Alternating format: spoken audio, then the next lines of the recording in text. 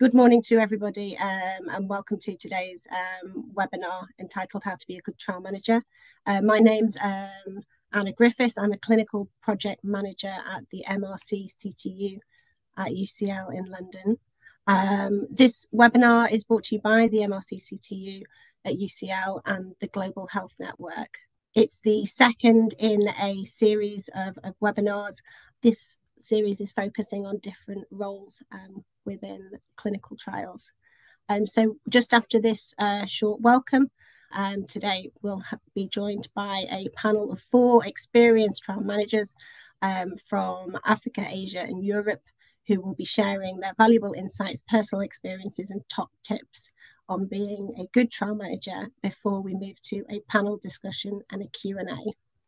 So we're joined today by Ennie uh, Chidziva from the University of Zimbabwe's Clinical Research Centre, uh, Peter Skoutari uh, from the MRCCTU at UCL, uh, Ngoc Lam from the University of Oxford's Clinical Trials Unit in, in Vietnam, and Nazia Parkar, who is from also from the MRCCTU at UCL. Um, so just before we get started, uh, I'm just going to run through some housekeeping. Firstly, to say that this session is being recorded. Uh, this recording will be shared in the coming weeks on the Global Health Networks platform, um, so you can review and share the material. Uh, these materials can be found using a link that um, will be shared in the chat. And please use the chat feature to introduce yourselves or to report any technical issues you might be experiencing, and the Global Health Network team will be able to assist you with these. To interact with the panel, please use the Q&A feature. It's great to see that we've got so many people joining us, um, but due to the, the volume of participants, uh, your videos and microphones have been disabled. Um, so we will have some dedicated time at the end to do Q&A. Um, we imagine that there might be quite a number of questions, so we might not be able to get through all of them. Uh, but if we don't um, have time during the session, we will compile um, some answers and address these after the session. Okay. And so um, we'll begin today's programme. And firstly, I would like to introduce our first panellist, who is Ennie Chidziva. Um, Ennie has over 18 years experience managing clinical trials at the University of Zimbabwe's Clinical Trials a Clinical Research Centre. Uh, she's currently leading a, a trial management team uh, in the efficient coordination of research studies in HIV and co-infections in, in children and adults. Um, and he joined UZCRC as a research nurse um, in 2002. Um, she became a trial manager in 2005 and then a site clinical trial manager in 2010. Prior to this, she's worked as a registered nurse in HIV and AIDS, and she discovered a passion for research and has worked as part of the team that conducted um, the DART study. Um, during her time at UZCRC, she's managed over 17 clinical trials, uh, mentored new clinical tri- trial managers, and set up new research sites within Zimbabwe. Um, she's still a registered general nurse and uh, has obtained an MSc in clinical trials from the London School of Hygiene and Tropical Medicine. Uh, it's great to have you here with us today, Annie. So I'm going to hand over to you for your presentation. Thank you very much, Anna. I will just uh, quickly share.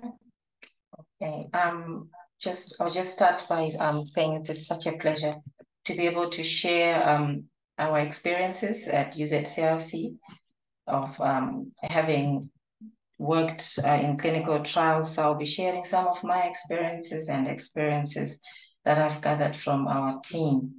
Um, so um, I can start by saying uh, a trial manager uh, in our experience can have many roles.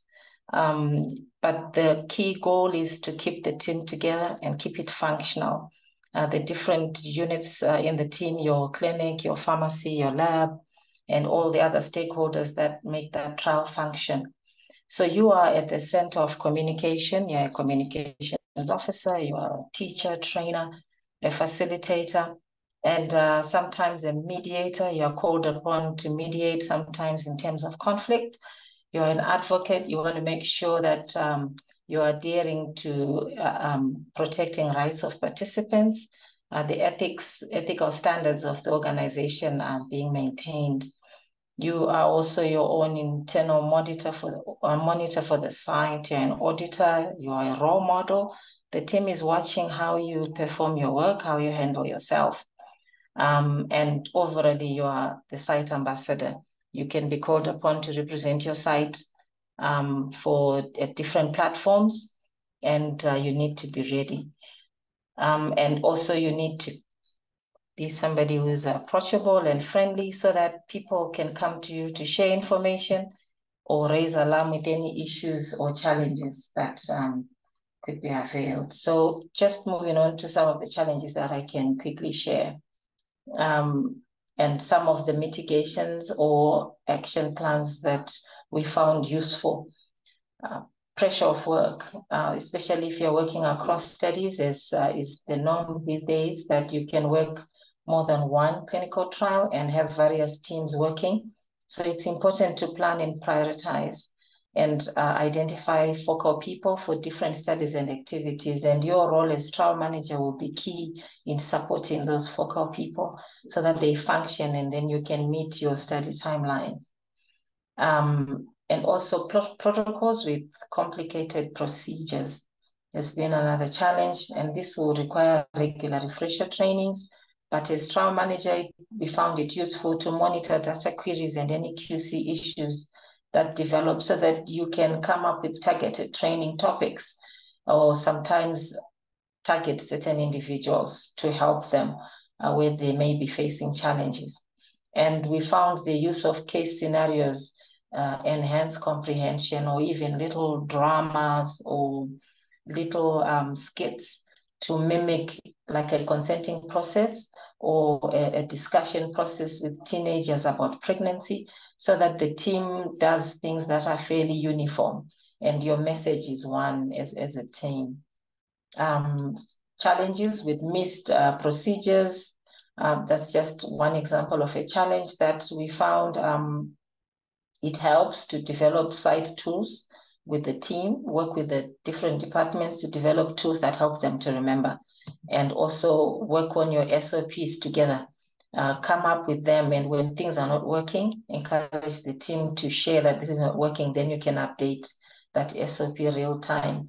Um, we have come up with uh, tracking forms and checklists that help uh, the team to remember events and activities that we can put in each consulting room for people to reference.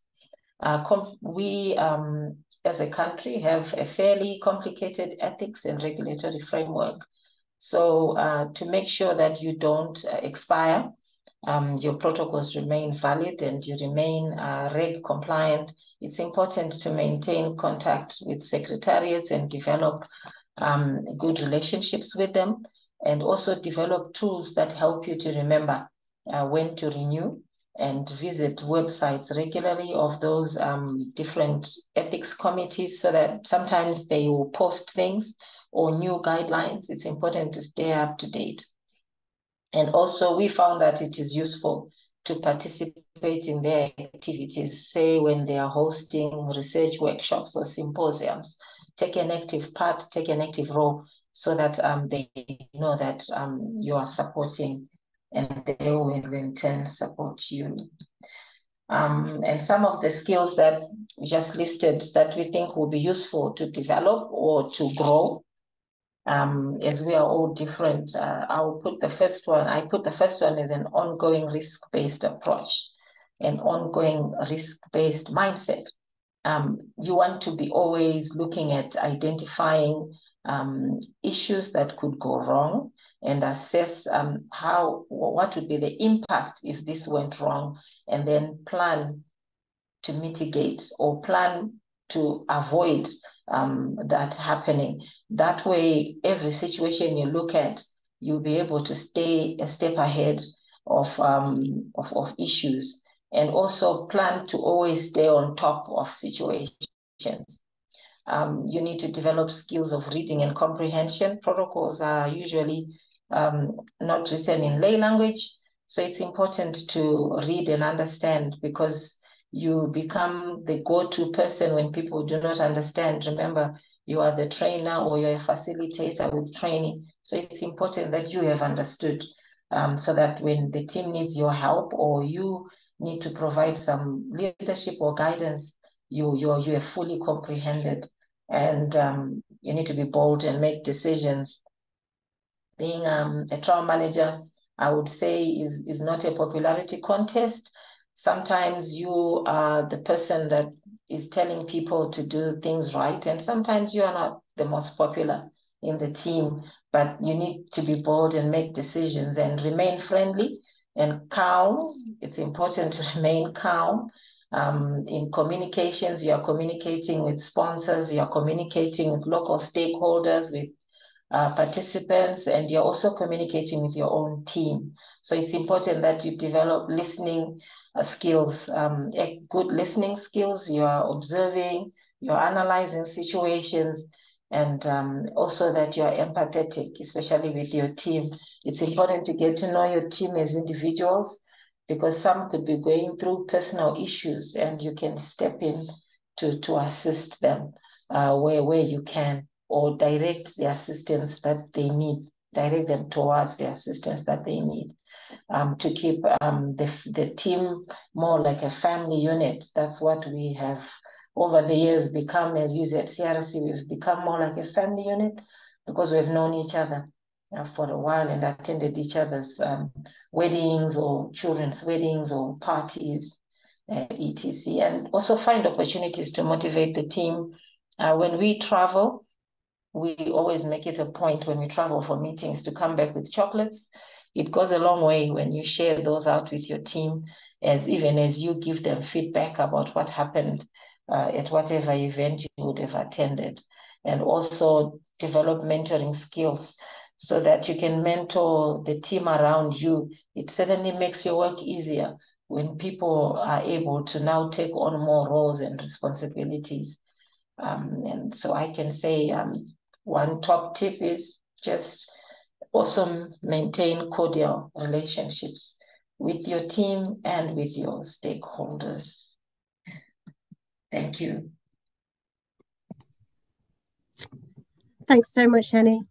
Um, and we'll we'll do um, questions at the end once um, we've heard from all of our speakers. Um, so next today we are joined by Peter Skoutari. Um, he is clinical trial manager at uh, MRCCTU at UCL. Uh, he's got a background in biomedical sciences uh, and immunology. Um, and he's um, currently working on an infectious disease trial, uh, looking at using novel combinations of antibiotics to treat neonatal sepsis in middle to low income countries. Um, he started his clinical research um, journey um, as, as a lab technician at a small science startup um, and has worked um, in clinical research for, for over 10 years with experience in um, respiratory disease, infectious diseases, and cancer trials. So I'll just hand over to Peter. Hi, everyone. Thank you, Anna. Um, it's very nice to be here. So yeah, just to start off, as Anna mentioned, um, I I I have a background in um, I, I started uh, a, a, just about 10 years ago or a bit more than 10 years in the lab um, as a lab technician working at, you know, a CRO. And then I just wanted to mention that, you know, I, I've, I've always wanted to, I've always really enjoyed clinical trials and wanted to work here and like, you know, uh, work myself up to um, trial manager, which I've only been in the role now for about just over a year. So if anyone can relate and that's helpful, um, I always find that when I see other people, that helps me. Um, I just wanted to say from personal experience that there's a lot to learn and a lot comes from experience. So it's just good to take your time. There's always something that's unknown. There's so many different things in trials. Um, I've done both commercial and academic, and they can both differ, but they are ultimately the same at the end.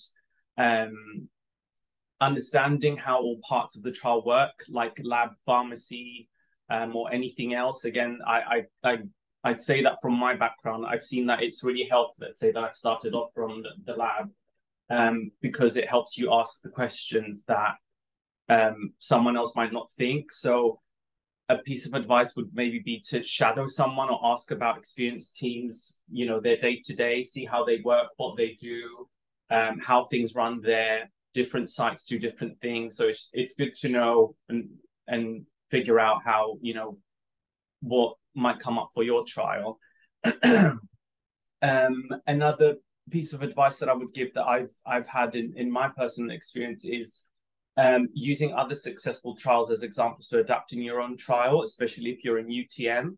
Um, so asking, let's say, for documentation from other trials, especially like you know if they've worked well, um, you can do that, adapt to your own trial, and it gives you an insight as well of like how they went, especially if it's a long uh, running trial. It, it really helps with you know understanding how um, you can do things, and again how sites work, how PIs work, how you know your unit might work. Um, so um, in my experience of observing other TMs um, uh, as I've as I've done this is that um, and I'm sure everyone will agree that everyone works in different ways. Um, but it's good to find a balance working with other team members, not just trial managers like data managers, nurses, you know, project managers, and just support each other in your strengths and weaknesses. Everyone will do something differently.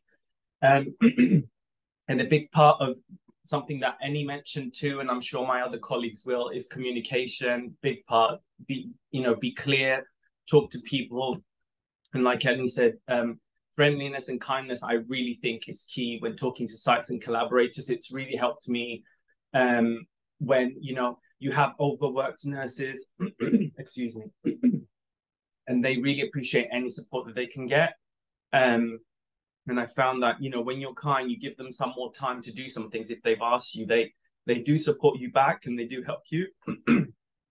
um, and also because I've worked in some international trials, I would say respect different ways of working and other cultures. You will find from you know some countries work on days that you might not um, and times that you might not do something differently and it's just good to be aware of that respect that and and help the team out there um, and finally, to just mention some some challenges that I've had and, and my experience with that is inexperienced sites might need a little bit more hand holding. They might need a little bit more training, uh, maybe a few more monitoring visits, just to make sure that everything is done correctly. Um, and you know, you get your experienced sites that you might, you know, you could leave alone for a little while, but and you, help the inexperienced sites to grow. And then if you get to work with those inexperienced sites again, they're a lot more experienced and they know what to expect from you. And you do get a lot of good work and you can like help shape them and form them into a good, you know, a clinical trial site that can help in the future.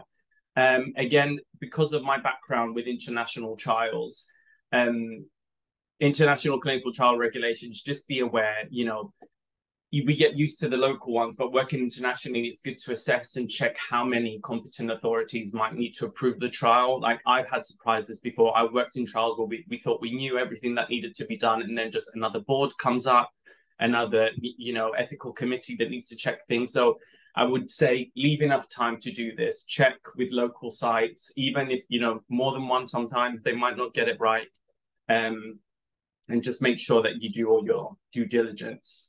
Um, and just lastly, I wanted to mention that having multiple collaborators, sometimes everyone has their own vision of how the trial will run. Um, and so it's good to start off by agreeing with everyone what their responsibilities are. You know, your stakeholders, collaborators, everyone wants something different out of the trial. Um, and it's just good to agree or make sure that you're all working towards the same goal. And if someone, you know, is seeing something differently, then you just you know work with them together with that and see what they want to get out of it and you can adjust um, yourself as well. Um, my top tip would be that it's okay if you don't get everything correct from the beginning you know um, there are always ways to amend processes protocols approvals um, unless you know something has gone horribly wrong. Um, you you can't always get it right from the beginning. There's always going to be surprises until you're like down in the field, in the hospital, at the site, seeing the team work, seeing different teams work. There's always going to be a surprise. I would say expect the unexpected, um, and just you know things can be fixed. It's okay, you know something goes wrong, um, and that's all from me. Thank you. Thanks so much, Peter. Um, our next panelist um, today um, is joining us from Vietnam, um, Ngoc Lam. Um, and she is responsible for managing uh, operations and uh, the governance team to conduct clinical trials and observational studies at the University of Oxford's Clinical Trials Unit in um, Hanoi, Vietnam, and she's held that post since 2002. Uh, before that, uh, Ngoc was at the OUCRU Centre in Ho Chi Minh City, um, and she joined in 2016 as a clinical trial, uh, clinical research coordinator, and then became a senior uh, research coordinator after two two years. Um, she's led the TB meningitis clinical trial coordination activities and HIV clinical research. Um, and prior to this, um, she has a, a, BSc in biology and an MSc in clinical trials from the London School of Hygiene and Tropical Medicine. Thank you, Ngoc. Sana. Hello, everyone. Uh, like myself, share my screen. All right. Okay, hello everyone. It's really nice to be here, and I want to say thank you to the organizers um, for inviting me to this really interesting um, webinar. And I also want to say thank you to all the audience that joining with us today. So my name is Ngoc, and uh, I'm based in Vietnam. About my talk, so I will um I will share with you some um, experience from my working time, and also I will go first about the responsibility. Sorry, Anna. And the responsibility of a clinical trial manager and uh, some top tips for you guys. So um, yeah, personally, I think that if we want to enhance our skill um, to be a good trial manager, firstly, we should uh, understand that about the role of a trial manager and the responsibility so actually, there are a lot of um, tasks and responsibility when being a trial manager, but I try to catch up the main, the main thing for me. So I want to share with you. The first one is about the um, oversight of the trial implementation activities. Um, yeah, we should have an over overall view of the trial activities to ensure it can run smoothly and identify the issue or the problem in a timely manner that we can give the solution in on time. And the second thing that um, we should ensure that the clinical trials meet the um, ethical and regulatory oversight. So it means that um, we should ensure that the trial is running uh, well and aligned with the ethical standards, the regulations, um, and also it ensuring the patient safety and the ethic as well. So how how can we ensure the ethical and regulatory oversight of the clinical trials? Uh, we should keeping up to date the knowledge of the relevant relevant guidelines and the regulations to keep an eye on that and we update the knowledge and the information of the relevant guidelines. Um, the other thing that we should oversight for the study patient screening and recruitment to keep it track and also to ensure that it's aligned with the study protocol and um, regulations. So um, how can we um, manage and uh, oversight of the trial implementation activities and the ethical and regulatories we should have the operational aspect review um, to develop the appropriate relevant procedure developments. So for example, the study SOP, the manual or the assessment plan for the study. And beside that, we should ensure that our clinical trial data should be um, oversight with the aligned the regulatory um, check. And furthermore, so um, we should keep track on the study progress as I mentioned, and also we should um, ensure that the trial docu documents and materials are um, safely stored and well managed. The last um, two things, I put it in the last, but it's really important because I just want to um, um, overall the things regarding the operation, the regulations, the trial patients, um, recruitment, the other thing is the study budgets. It's really important that we should uh, manage the study budget uh, well and plan it from the beginning phase of the trial and keep on track and keep an eye on that um, during the ongoing phase and also the closing phase. And uh, you know that working in a trial, we will uh, have a big team from the study side, the admin, the finance, the pharmacy, every single contribute contribution to a, a big trial and um, successful trial. So we should being a trial should liaising and to ensuring the effective of the study team to ensure that everything is going well and we keep uh, communicating with the team.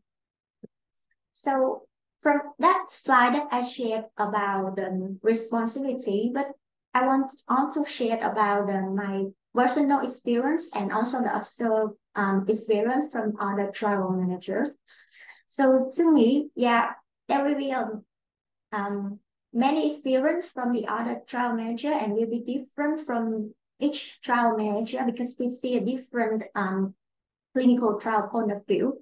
But to me, that I think that understanding the study document well is really important. So why is that? So we should um, understand well the protocol or the procedure or the re relevant guidelines to build and develop the appropriate SOP and the menu or the assessment plan at the setup phase to ensure everything is aligned with the study protocol and to minimize the deviation and variation, which is we don't want to meet that. And the other thing is about the being aware of and giving the training on the update relevant guidelines because you know we um living in the the it was. So we will update everything and very fast about the guidelines how to protect the patient data or how to conduct the clinical trial. So it been updated to ensure that we protect the patient and we ensure that the clinical trials is um, meet the regulations. So we should being aware of that and giving the training um, for the update regular relevant guidelines to the study team or the other members in the team and as I mentioned before, that um, assessment plan is really important. So risk assessment plan is the thing that we can um, think about um, expected or unexpected issue that we can produce um, possible solution to solve it when we meet the issue or problem. And I recommend that we should working in a team to have a very general view point for the issue that we can find potential solution and uh, communicating. So I agree with Andy and Peter that communication is really important. So communicating with the study team and stakeholder to um, keep everything in post information and we maintain the team. Study budget and study timeline is really important. So we should plan it well and to ensure the study budget is uh, appropriately spent and also in actual for the situation and the study timeline, we should manage it and estimate for example, the IRB submission because it will maybe take time for different local IRBs. And also the consumable orders or the study um, patient recruitment. So we should estimate it and manage the study timeline to ensure everything is keep on track and we can identify the issue on time. And the last one is the balancing the overall and day-to-day -day management. So try to be overall to see the um, general point of view of the study and to identify the, the, the problem or try to um, identify issue at each stage, but also day-to-day -day management to keeping everything running well. So that's it about the experience. And yes, being a trial manager, we will have challenge. So the first one is the multiple task. So when I mentioned about everything regulation, study participant, uh, recruitment, uh, study pharmacy or IRB, so on that task will not uh, happen in order. So it can happen at the same time. So we can be overwhelmed by the multiple tasks. And I will share the top tip later for the challenge. The second one is the busy site PI. So Actually, I experienced that and I feel that it will be a challenge when working in my trial. So a side PI can be the director of the hospital or vice director of hospital and being a PI for study or co-investigator for the other studies. So of course, they don't have enough time for, for our study. So trial managers should um, communicate more with the site PI to identify the thing and need to correct and to find the issue or how to ensure them the procedure of the trials. And the other thing is the different working cultures among the study site. So a clinical trials when running in the multi-site, we will have um, many hospitals to join in as a study site and each of the study site will have a working different in the working culture. So a trial manager should um more practical. So um be on the site and learn about um, the working culture as the site and we can develop the appropriate um, standard procedure to the site, but possibly aligned with the study protocol. So to, to keep it um, aligned with the working cultures, but to the study protocol. And um, as I mentioned about the study team, there will be um, many teams contribute to the trial. And yes, there will be sometimes we have the conflict. For example, the disagreement between the study team about the, the problem solving or the solution, anything, and on the turnover staff. So the trial manager should keep the communication well to understand the team and to understand about the workload as well as the issue or problem that we can identify it in a timely manner and give a solution. And the other challenge is uh, keeping track of the study activity and budget. So try to keep track the study activities to ensure it's on plan and time and the budget is appropriately expensed. So top tips. So actually I have um a lot of top tips I want to share with you, but I want to shorten it and uh, to be easier to get it. So the first one is the communication. So communication to keep uh, the team up to date and understand the team as I mentioned, as well as identify the problem and connect the team to ensure the trials running well. The second one is problem solving skill. So we should um, know about, uh, we should understand the the issue of the problem and we can have the decision making at the same time. But it doesn't mean that you have to be perfect on the problem solving. So if you don't know or you cannot give a solution for the problem, don't be afraid to talk and discuss and concern with the other team so we can have them together have the solution that we can connect the team and solve the problem. And the last one is time management, because there will be a lot of tasks happen at the same time. So we should manage our time well to balance the tasks of the study and uh, to do the macro and micro management. And the last one, to keep our mental health well. Because um, spending time for the study, yes, for work, but should, we should work-life balance to keep our time for ourselves to have um, effective work but effective life. So that's it on my presentation. Thank you for your listening. Thanks so much, Ngoc.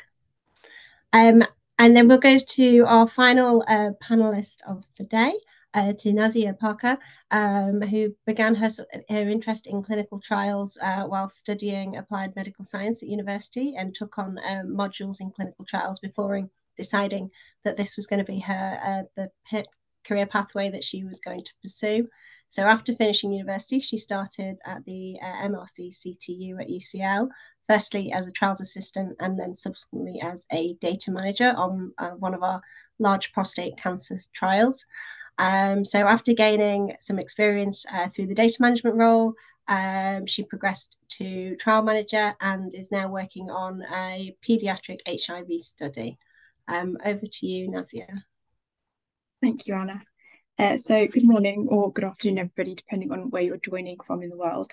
Uh, I've had a look at the chat and there seems to be people joining from all over, which is really exciting. Um, and it's a pleasure to be part of this webinar, so thank you for having me. Uh, as mentioned, my name is Nazia and I work as a trial manager at the MRC CTU at UCL in the UK. And I work on a paediatric HIV trial called D3. I just wanted to give you a brief overview uh, to, of as to what the D3 trial is, uh, so that it gives you a bit of context as to what my role entails. So D3 is a regulatory trial that's aiming to find out whether in children and young people uh, taking a fixed dose combination of two antiretroviral therapies called dolutegravir and lamivudine, which together make DTG/3TC, has fewer side effects and works just as well as taking three antiretroviral therapies, which is what many children and young people currently take. The trial opened to recruitment in May 2022, and we have 16 sites in total, which are spread across five countries, including Uganda, South Africa, Thailand, the UK, and Spain. And we have now fully recruited the trial. So, in terms of what my role as a trial manager on D3 entails, uh, there are a wide, wide range of responsibilities I have, but I've tried to summarize the key ones. So these include writing and reviewing numerous trial documents, and this can include, but not limited to, patient information sheets and informed consent forms, uh, IMP management plan, safety management plan, and writing and reviewing reports. Uh, I've also been responsible for developing and reviewing worksheets and ECRFs, which are what we use to collect the data on, maintaining an electronic trial master file, which is where key trial documents are stored, delivering training sessions for sites, not just at the beginning of the trial, but also throughout the trial as new updates become available or just as refresher training. Communicating with sites and responding to their queries, which, depending on the nature of the query, could be quite urgent, particularly if it regards safety or eligibility obtaining regulatory and ethics approvals, which again isn't just at the beginning of the trial, but throughout as new updates and or documents become available. And having an international trial means you need to be aware of the requirements in each of those participating countries. Managing IMP, which involves a myriad of tasks but can include creating the drug forecast, processing drug orders, liaising with the contract research organisation who's responsible for labelling and shipping the IMP, and then liaising with sites to manage these shipments and review documents received from them. Processing adverse events. So in D3, all adverse events are reportable. So as the trial manager, we're responsible for reviewing and processing these, conducting a MedDRA code review, and then informing the clinical reviewer within the required timelines. We're also responsible for compiling safety reports, such as the Development Safety Update Report, which is updated annually, conducting on-site monitoring visits to ensure that the sites are adhering to the protocol, and attending various trial meetings, which can range from smaller internal ones to larger external ones with sites or your collaborators as you can see, there are quite a lot of responsibilities. And so, from my own experience, as well as observing other trial managers, I would summarize the following as being some of the key skills required for being a good trial manager and managing these responsibilities. So, number one would be time management and organization so that you can manage numerous responsibilities and priorities simultaneously and also keep track of all your tasks. But at the same time, I think it's important to be able to manage your stress and your workload as D3 is a regulatory trial and we have numerous collaborators, it's often quite difficult to manage all the deadlines and there's often a high workload. But I think it's important to be honest with your line manager and colleagues about re readjusting these deadlines and priorities so that it can be more manageable for you.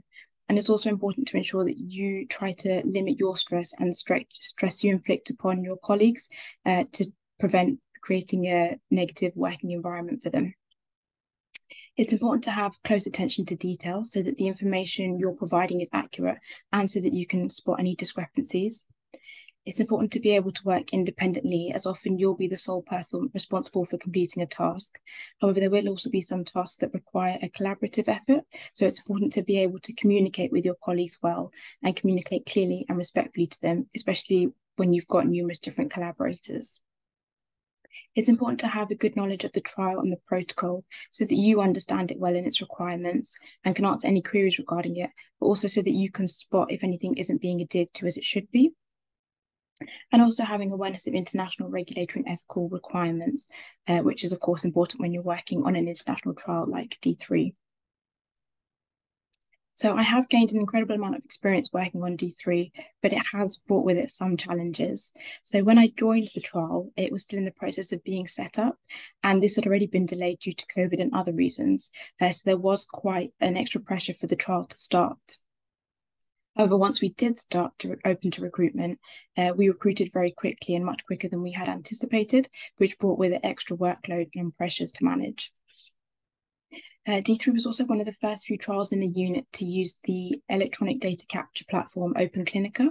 Uh, so it was quite time consuming and difficult to set up. And it took a while to become familiar with it and understand the requirements of it.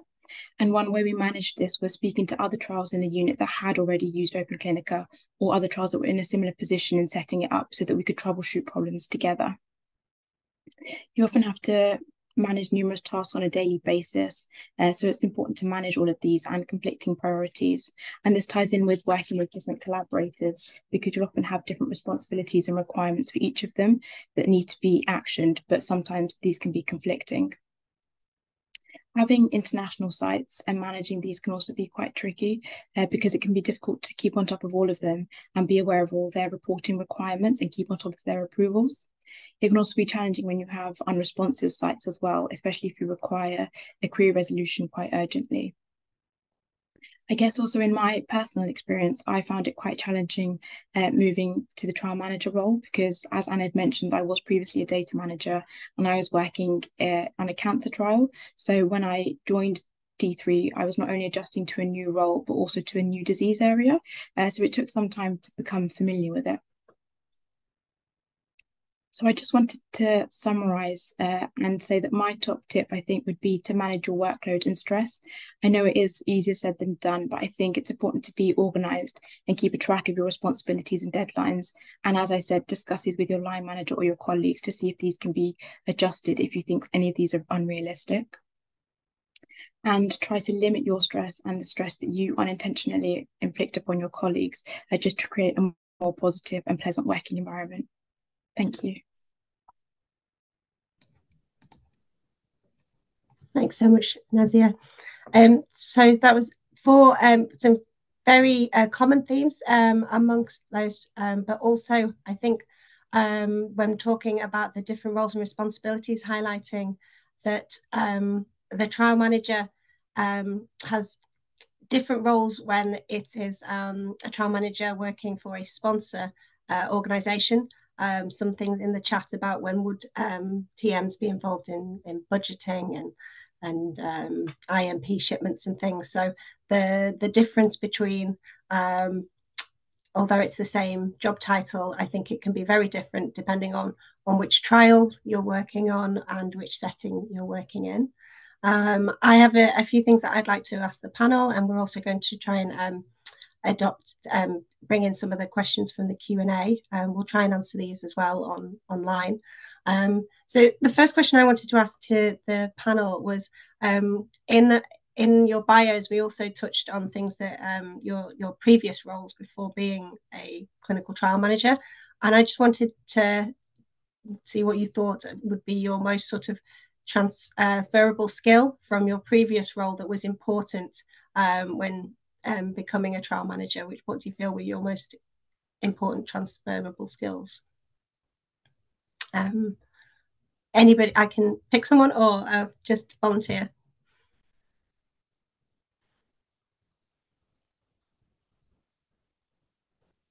Who wants to go first? Um, uh, Peter, go to you. Yeah, thank you. I think it's it's some of the things that I mentioned in my slides as well for transferable skills, and I know not everyone can maybe have these, but for me personally, is work man you know starting off in the lab or working let's say in a pharmacy and all these things they really help afterwards see how but let's say if you do have a trial that manages samples how to do that um but other than that is what a lot most of my colleagues mention is being able to not multitask but just be responsible for a lot of different things and have um, as we say in the uk your your fingers in a lot of different pies just be be able to do a lot of different things. So even if you can grab something from every single thing even just a little to just get you started i would say that's yeah that'd be helpful. Thanks peter. I agree with Peter that um because not on um, um, people can have the appropriate background with the trial because we had to uh, um, we had to work with the very various diverse uh, clinical trials. So I agree with Peter that we should um yeah not multiple tasks as you mentioned Peter, but we can take them the role in each um step of the trial to understand that. For example, when I start I'm background in biology um but I don't very uh, well familiar with how to batch a sample in very um, high risk of uh, BSL3 sample. So I have to learn from each step and we, we can learn from that and we can get experience by working in that or shadowing someone that and we can get them knowledge and experience. That's what my thought. Thanks, Ngoc. Okay. Um, yeah. And sorry. Sorry, Anna, if I could also add. Yes. Um, yeah, I think working um, initially in clinical trials as a research nurse was very useful for me because um, I was involved in the data collection, uh, working closely with um, pharmacy, lab data, clinic flows, understanding clinic flows, and at times uh, being in a leadership uh, role in the clinic, um, supervising staff when the manager was away. Um, that uh, that really helped when I went up into trial management because I understood the flow of the clinic and the challenges and the issues. So it was easy to identify with the team when they are having challenges in a certain area, so you could assist uh, and also even be able to have yeah just that insight of how the whole system functions. I think that found that very useful. Thanks. And there's some some questions coming up about sort of backgrounds, and I think I think we've shown just from from this panel that um, you can come into the role of clinical trial manager from a number of backgrounds, whether it's um, sort of nursing or being in the pharmacy or, or the lab. Um, so I think, um, yeah, and there are a lot of um, training courses and experience, especially if, if people have opportunity to go to the um, the MRCCTU and Global Health Network Hub. Um, there are a lot of resource, resources on there in terms of um, um, different uh, tools and templates and, and different training opportunities um, within clinical trials. Um, the next question I'd like to ask to the panel is um, about the sort of the challenges of working in, in global trials. And so I think um, you all touched on one of the challenges is sort of um, making sure you're aware of all the um, regulations and requirements within all the countries that you're working in, and and also that those um, requirement requirements might be updated and changed. And I just wondered if you had any tips for um, keeping on top of, of, of those changes and what the, the requirements are and communicating those within within your teams. Hi, Anna. Uh, so, yeah, so I think it is very challenging because I think, as Peter mentioned in his presentation, sometimes you think you're aware of the requirements, then throughout the trial, uh, another site will say, Oh, we haven't actually submitted this, we've done this submission, but you weren't aware that it was required initially. Uh, so, I think kind of having a spreadsheet or some kind of tracker uh, where you can keep a track of all the submissions that are required uh, can help. And I think also speaking to sister trials within the unit. So, for example, we have other trials that are similar to D3, uh, which we liaise with so that we know if they've reported that some kind of submission is required, then we're aware of that too. So I think having that communication within the unit and just uh, feeding this back to your TMT or your TMG and uh, discussing these at regular meetings uh, can also be quite helpful. Okay, thank you. The, I wanted to add to that, Anna. So I completely agreeing with tracker and everything sometimes it helps when you're doing your annual progress reports or safety reports to go check before because each each let's say competent authority might require a new um, sorry their own form to let's say submit these reports. Um, and using the tracker that Nazia mentioned it's useful to see have have there been any updates before you that you're aware of? Um you know do something differently submit something new. Yeah Thanks, Peter. Yeah, for me that um yeah, I mentioned about the regulation and the decree. So um recently Vietnam had a very new decree on how to protect the data for the the patient or enrolled in the trial. So I think that the first one, how can we keep up that um, that information? We can uh, communicate with the governance team to get information. And the other thing that we surprise on the, the law um, system that we can receive the information on time. So that the, the way that how can we keep us um, up to date for the information and also the degrees or the laws relating to the clinical trials. Yeah, that's my experience on that. Thank you. Maybe. Um, oh, sorry. Sorry, Anna. No, go on, Ennie, please um, from a site perspective, um, working also with different sponsors and keeping up to date with uh, the different requirements can actually be a very good learning experience because different sponsors have different requirements and they can actually capacitate your team to be able to work uh, in, in, global um, studies. So it, it's actually quite a good thing. But uh, to keep on top of things with the different sponsors, it's important, um, yes, to have a tracker to be able to capture what each one wants, but so that they get the attention they need. It's also important to have focus individuals within your team who ensure that the needs of each one are taken care of. Thanks. Yeah, because I think um, across all four panelists, we've got trial managers who are working on one trial, but in multiple countries. And then we've got trial managers who are working in one country, but with multiple protocols. So I think that um, they both take quite a lot of, of, of juggling. Um, and some, so, so one of the questions in, in the chat is about any sort of uh, management tools or, or software that that um, you use to to keep on you know to try and keep all these processes on track. I don't know if anybody has any uh, recommendations on anything that they they use. Um, so currently our offer use the StudyLight. So StudyLight is the system that we can uh, track everything um, from the, the setup phase for the IRB submission and then the PI can check on that and give the green light for the study start.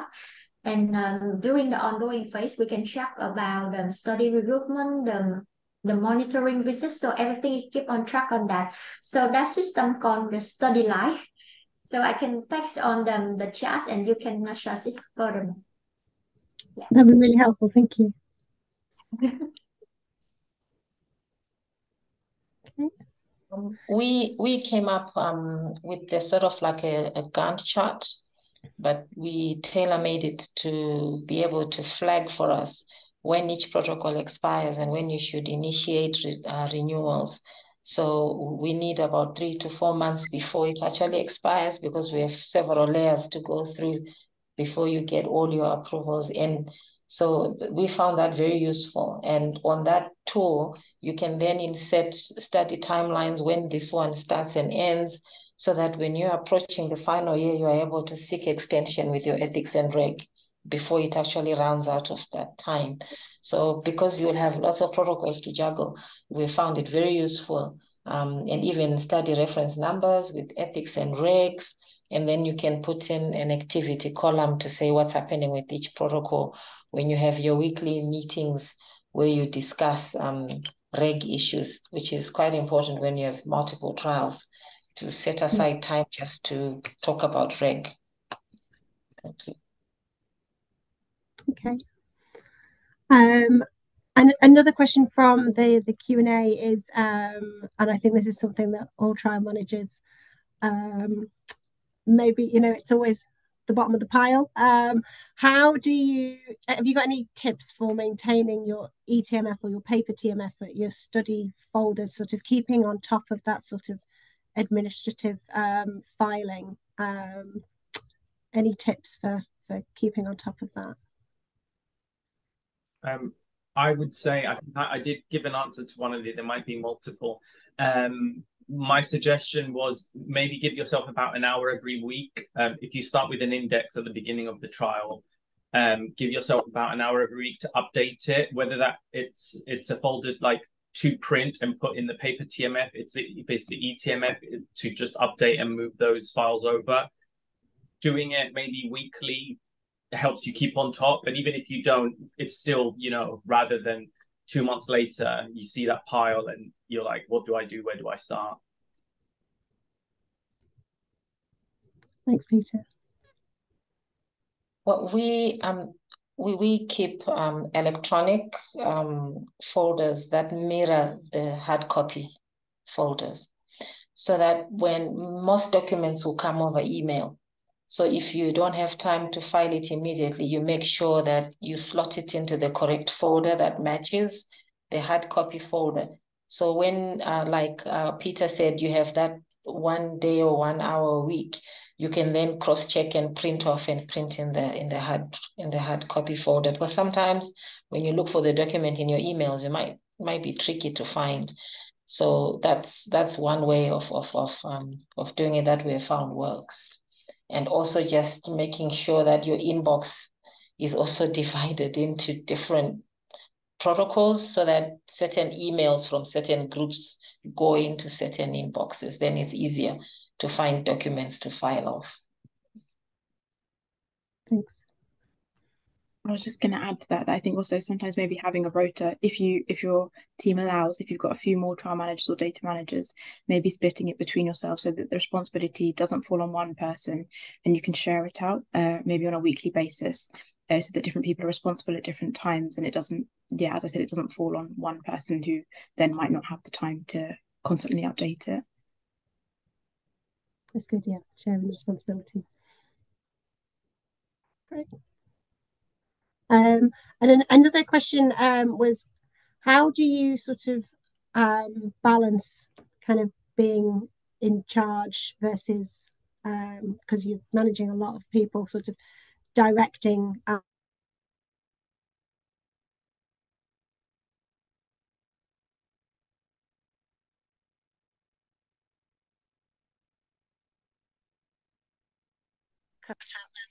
um, I'll just repeat that question if I'm back, if people can hear me. Um, just um, how do you manage sort of um, when to be um, in charge and, and, and directing within your team and, and when um, you may need to, to ask for help on something?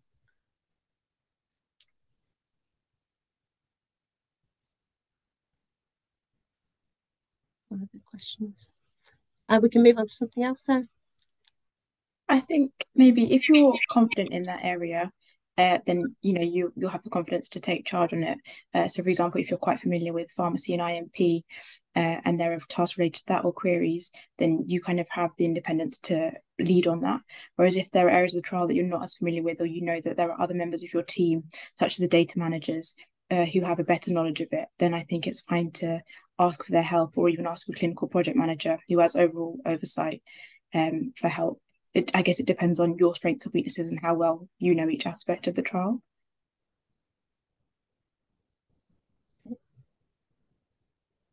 I, I think that we um there is a relation between being in chat and also asking for help because when we being in chat that we can aware about the issue and about the problem or the task that we are taking.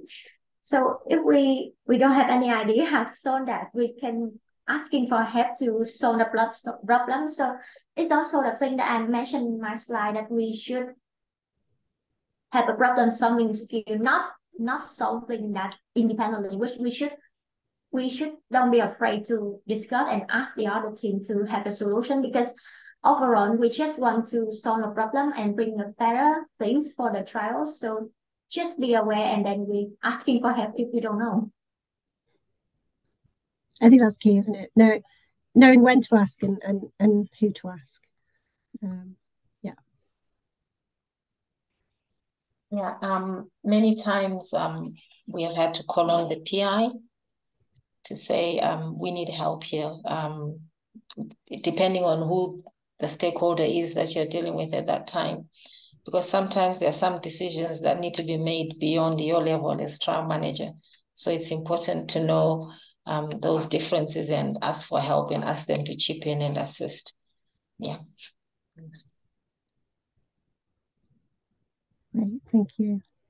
And there's quite, quite a few questions coming up about um, any sort of specific qualifications um, to, to become a trial manager. And I think we've sort of we've touched on this already, but sort of um, we've had uh, people with with, with nursing, uh, medical or medical backgrounds, and but also um, sort of scientific lab-based backgrounds um, as well. Um, that's um, from from what the uh, the panel have. Um, I think we've got time for just a couple more um, questions. sorry, when I cut out the Q and A chat, cut out as well, but I'll just try and see if there's so one of the questions was sort of about, and any I think you've already sort of slightly touched on it. It's sort of how do you deal with um, engaging the PI and the CI and sort of getting um, the time you need from them um, to be able to to do your your role as trial manager. because we've we've had a session on PIs, and I know that uh, they're usually very very busy. So trying to um, how do you get you know their their time to be able to or their engagement or and re retaining their oversight of the, the studies. Um, so what we found helpful is right uh, when the study is starting say you are starting to work with a pi for the first time or you've been working with them before but the study is starting is to establish some um, work ethic i mean work ground rules i might call them uh, for lack of a better word, but um, to agree with the PI uh, whether you need time to sit um, eh, per week or they are the kind of PI who prefers you to just give them a call or send a WhatsApp or a text message. Indeed, uh, some PIs also are lecturers at universities or they have got other commitments with participants or patients. So um, they are not always free. So one needs to work around with them. Uh, what helps us is that we have a weekly team meeting with the whole team, but that's an opportunity when after the meeting, you can always ask them to say, I have a few things that I need to run by you. Or in advance, you can tell them that, look, when you come for the weekly meeting, I also need time uh, to discuss with you.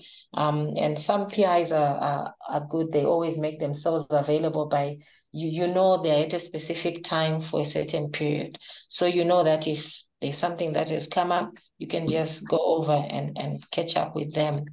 So yeah, it, it, it's about negotiating and discussing it openly, and then you establish timelines on when you can meet. Yeah. Thanks. Thanks very much.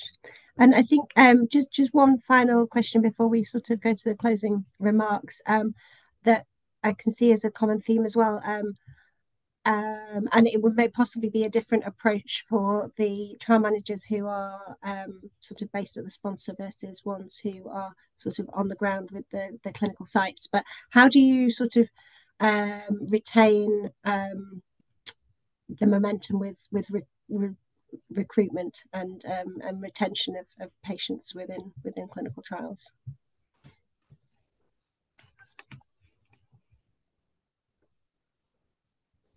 Um, so what we have found useful is um, to engage constantly the outreach team um, together with the rest of the team, but more the outreach team. Um, when they have challenges, we, we have um, created like a pre-screening log, which they use to identify potential participants. So whenever they screen out a patient, we, we walk through those reasons why you have screened out a particular patient, and then we iron it out to say if there's a way to go around it. Um, for example, we had issues with birth certificates. Uh, so we need to know the date of birth and the age, and some children don't have those.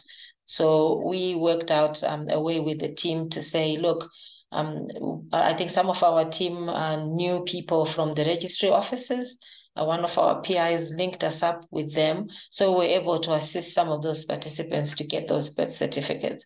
So those are, so it's important basically to just keep in touch and know reasons why they are screening out. And once you know those reasons and you iron them out, you find that you can actually increase momentum. And sometimes there is need for them to go beyond the um, catchment area that they've been going to. So as trial manager, you also want to assist in lobbying for them to get extra resources to be able to go further. And sometimes they require uh, station permissions. So you are doing the letters to the relevant uh, provincial medical directors or regional units so that they can go that far. So you support them. So during the recruitment phase, it's important to stay very tight with your recruitment outreach team as a whole. Yeah, and that's what I can contribute. Thank you. I also want to share my experience about the patient, the patient recruitment. So yes, I agree that we should have the pre-screening log that we can identify what is the reason for failure enrolling in the study. And the other thing that we should think about um, maybe the ICF formatting because I I did have a small project to identify is it the ICF too complicated to the patient or not? What what about the wording that we use in the ICF? And we found out that there's something that it will make the participant consider about our study, not about the safety of the drug or the schedule for the follow-up visit, but about the ICF is too complicated and they, they don't understand anything about the study.